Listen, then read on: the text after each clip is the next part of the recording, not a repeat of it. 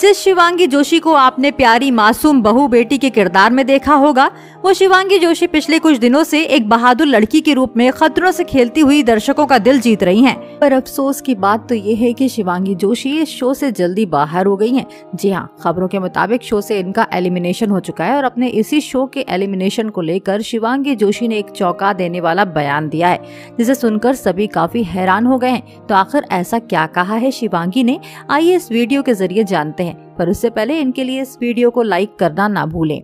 रोहित शेट्टी के शो में इस बार खतरों से खेलने के लिए शिवांगी जोशी ने भी अपना नाम दर्ज करवाया था। इन्हें इस शो का कॉन्सेप्ट बहुत अच्छा लगा था, इसीलिए इस साल से इस शो का हिस्सा बनी।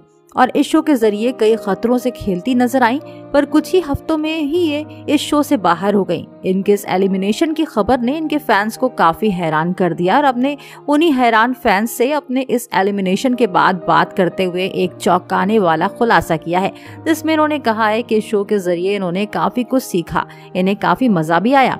पर ये शो से जल्दी बाहर हो गई, जिसके पीछे का एक कारण है, और वो कारण ये है कि इन्हें शो के अंदर बाकी एक्ट्रेसेस के अकॉर्डिंग इम्पोर्टेंस नहीं दी जा रही थी। इसीलिए शो के अंदर काम करने की इनकी जितनी एक्साइटमेंट थी, वो खत्म हो गई, जिसका असर इनके स्टंट पर पड़ा, जिसका ये परिणाम हुआ कि इन्हें फियर फंदा मिला और इन्हें एलिमिनेशन स्टंट तक ले गया जिसे ये हार गई। इस तरह से ये शो से बाहर हो गई। इस तरह से शो में इनका एक्सपीरियंस अच्छा भी था और बुरा भी था।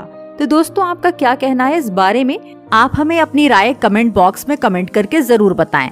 और साथ ही ऐसी खबरों को जानने के लिए आप हमारे चैनल को सब्सक्राइब करना ना भूलें।